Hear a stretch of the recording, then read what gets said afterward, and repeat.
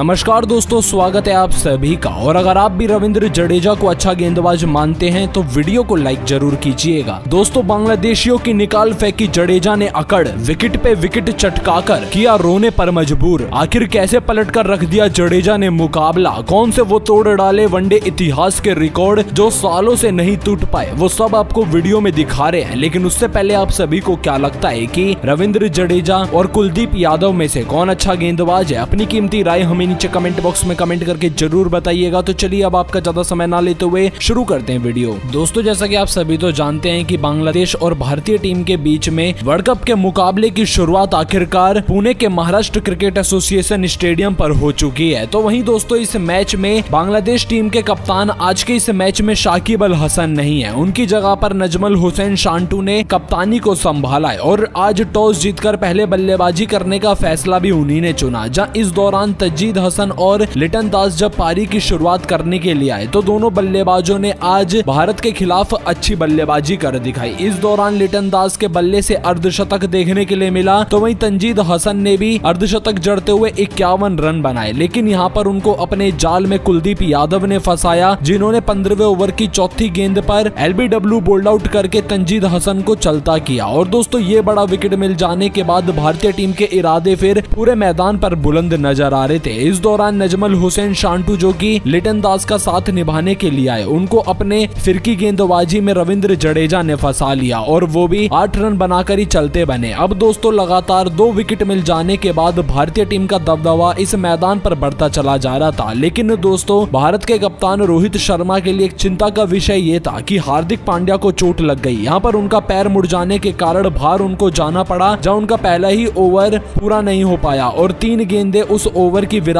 कोहली ने फेंकी थी, जहाँ उनकी गेंदबाजी से भी मैच में कुछ तो असर पड़ता हुआ नज़र आया। अब दोस्तों, भारतीय गेंदबाजों की बारी थी बांग्लादेशी खिलाड़ियों को जल्द से जल्द पवेलियन की राह दिखाने की, और यहाँ पर भारतीय गेंदबाजों ने यही किया। दरअसल हुआ ये कि रविंद्र जडेजा ने फिर लिटन दास को छियासठ रन पर चलता किया तो वहीं सिराज ने भी तीन रन पर मेदी हसन को आउट किया, और यहाँ पर शानदार गेंदबाजी से रविंद्र जडेजा ने बांग्लादेश की टीम को आड़े हाथों लिया, और इस दौरान रविंद्र जडेजा ने कई बड़े कीर्तिमानों को भी अपने नाम कर लिया है। जी हाँ दोस्तों, आपको हम बताते हुए चले की जडेजा ने आज जैसे ही भारत के लिए दो विकेट हासिल किए थे, तभी उन्होंने वनडे क्रिकेट में 211 विकेट लेने के आंकड़े को भी पार कर लिया। और दोस्तों, वो भारत के ऐसे ऑलराउंडर खिलाड़ी बन गए हैं, जिन्होंने वनडे क्रिकेट में 2500 से ज़्यादा रन और 211 विकेट लिए हों। और दोस्तों, जडेजा से पहले आज तक यह कारनामा ना तो हार्दिक पांड्या कर पाए, ना कपिल देव ने ये कारनामा किया, और अब जाकर रविंद्र जडेजा ने ये इतिहास अपने नाम कर लिया है और सालों पुराना रिकॉर्ड तोड़ा। तो वहीं बात करें अगर अगले रिकॉर्ड के बारे में तो दोस्तों रविंद्र जडेजा ने जो अगला बड़ा कीर्तिमान अपने नाम किया है, वो ये है कि भारत की तरफ़ से अगर आप लिस्ट में देखोगे तो 200 या फिर 200 से ज़्यादा विकेट लेने वाले गेंदबाजों की सूची में अब रविंद्र जडेजा सातवें नंबर पर आ चुके हैं, जहाँ उन्होंने इरफान पठान, वेंकटेश प्रसाद, कपिल देव, हरभजन सिंह जैसे खिलाड़ियों को पीछे करते हुए ये कीर्तिमान अपने नाम किया है। तो दोस्तों रविंद्र जडेजा ने अपनी शानदार